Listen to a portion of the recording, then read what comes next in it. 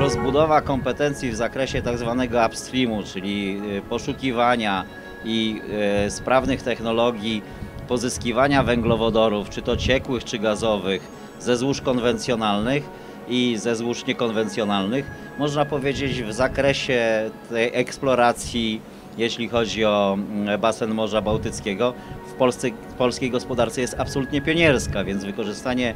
zdolności kapitałowych, kapitału prywatnego, kapitału inwestycyjnego zgromadzonego w polskich instytucjach finansowych i kompetencji w, e, zgromadzonych w Petrobaltiku, jeśli chodzi o e, możliwości technologiczne, składają się na to, że ta 2 miliard, prawie 2 miliardowa inwestycja jest e, w wielu wymiarach taką inwestycją bardzo istotną z punktu widzenia pozyskiwania surowców, jeśli chodzi o zabezpieczenie energetyczne naszej gospodarki.